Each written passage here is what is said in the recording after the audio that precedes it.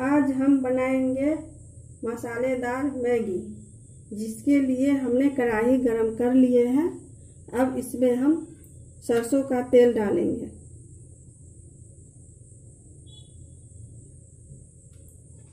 और इसे हम गरम होने देंगे। तेल गरम हो गया है। अब इसमें हम बारीक कटा हुआ लहसुन बारीक कटा हुआ आदि और बारीक कटा हुआ हरी मिर्च डाल देंगे।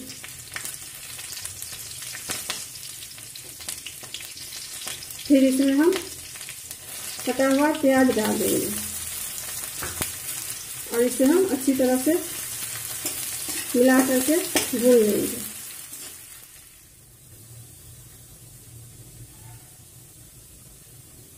प्याज को हमने लगभग एक मिनट भून लिए हैं।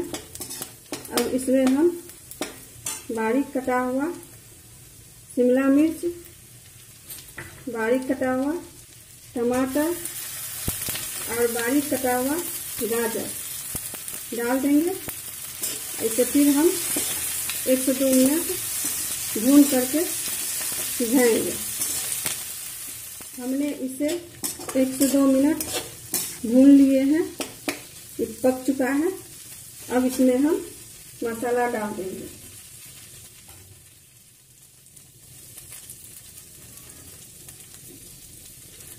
अब हम इसमें मसाला डाल देंगे। एक चौथाई काली मिर्च पाउडर, एक चौथाई चम्मच हल्दी पाउडर, एक चौथाई चम्मच लाल मिर्च पाउडर और मैगी मसाला दो पैकेट दो चम्मच स्वाद अनुसार नमक। इसे थोड़ा सा चला लेंगे। अब इसमें हम पानी डाल देंगे। एक गिलास। और इसे अच्छी तरह से मिला लेंगे।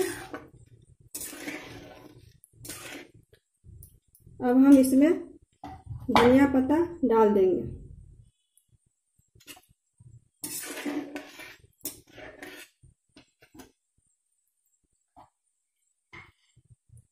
अब हम मैगी डाल करके इसे हम ढक देंगे।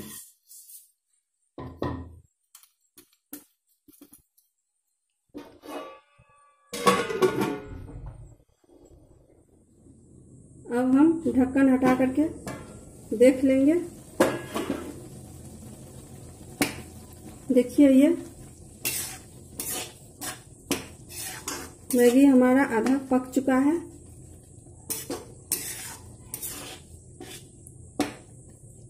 इसे फिर हम ढक देंगे।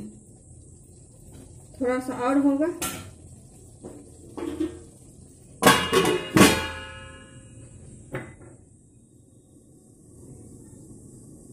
फिर से हम दोबारा ढक्कन हटा करके देख लेंगे।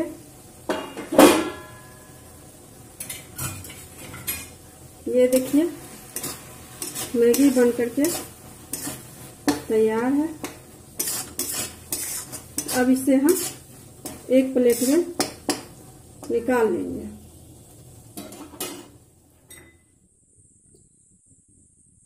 अब ये हमारा मसालेदार मैगी बनके तैयार है।